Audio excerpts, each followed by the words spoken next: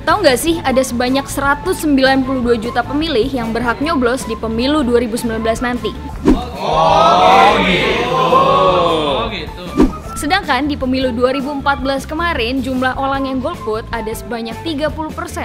Padahal satu suara aja sangat berarti. Jadi kalian yakin masih mau golput? Gak keren sob. Yuk gunain suara kamu untuk masa depan Indonesia.